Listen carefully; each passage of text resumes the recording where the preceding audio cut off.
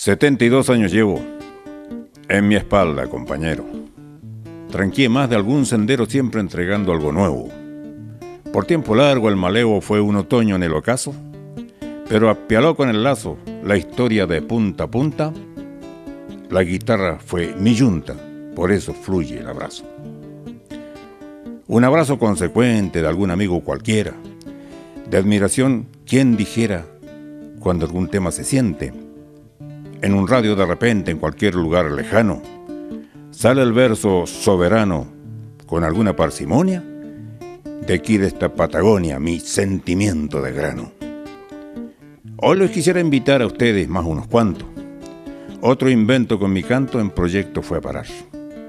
¿Se acuerda de algún lugar aquí en mi región de Aysén? Usted se va a sorprender porque el tiempo la cambió.